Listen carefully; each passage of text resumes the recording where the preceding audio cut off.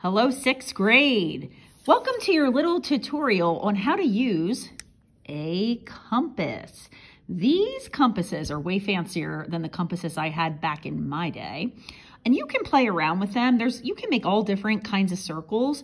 But in our project that we're going to start next week, we're going to have to make circles that are mathematically accurate with like certain, like a certain radius or a certain diameter. And believe it or not, you can make really accurate circles with these compasses. So the first thing I want to draw your attention to is there are different measurements on different parts of um, the compass. So if we always want to be working with inches. So if you look at this side right here um, of the compass, these are your inches. And you'll see that if you look at some of these arrows, like do you see this arrow right here? It says two inch radius and there's an arrow pointing to that hole right there. Or out here, it says three inch radius and that arrow is pointing to this hole right here. And then out here we have four inch radius. And right here, it might be a little hard to see, right here is your one inch radius and that's pointing to this hole right here.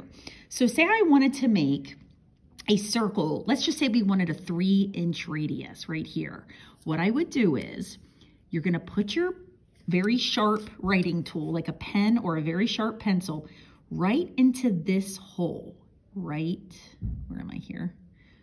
Right here. Well, maybe I should move this down a little bit on paper. I'm going to run out of space. So I would put it right here. And I would kind of make a mark that shows that that's the center of my circle. Okay, so that's all these little circles. You're going to the very inside right here. Then what you wanna do is sort of put your hand on top of this, this part right here. Find your three inch radius hole, which is right here, and let it rip. You kind of just start to draw and pull it around. I know the video is kind of losing sight, but I'll show you in a second. And if you keep following that around, you're gonna have a circle. You can see I made a whole circle with a three inch radius. And I can even show you that it comes out perfectly because if I take a ruler now and measure from the center of the circle out to the circle itself, can you see how it's exactly, well, no, wait, let me go here. It's exactly three inches, okay? So if I wanna make a smaller circle, let's say I wanna do um, a circle with a one inch radius. So if I wanted to make a circle with a one inch radius, again, I would mark down in the center, and then I would hold the compass here in the center tight, find the one inch radius marker, get my pen in that hole, and turn it around. Now you may have to lift very carefully, sort of lift your hand up and let me see here. You wanna hold, keep holding it tight. Gets a little dicey then get that back there and then kind of finish it off like that.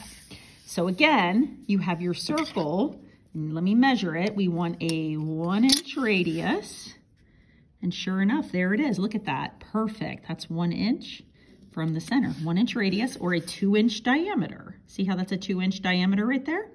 Which brings me to the last part of this video. So I borrowed these compasses from the art teacher on our floor, Miss Stom. She was kind enough to let us borrow these. What I noticed though is that some of the compasses have this measured with a radius and other compasses have it as, so you see here, I'm on the inches, diameter. See how this says four inch diameter, six inch diameter, eight inch diameter? Well, if you're using a diameter compass, but I wanted a one inch radius, think about which diameter it would have. It would be this guy, the two inch. It's kind of faded here, but this right here says two inch diameter, and it would be this hole right here. So just be careful. Some of them say radius, and some of them say diameter. It doesn't matter which one you use, but you just have to be careful which hole um, you're using here to create the circle. And of course, you can always double check it with your ruler. Okay, so we're gonna try making some of these. You're gonna practice now making some circles that have a one inch radius. Good luck.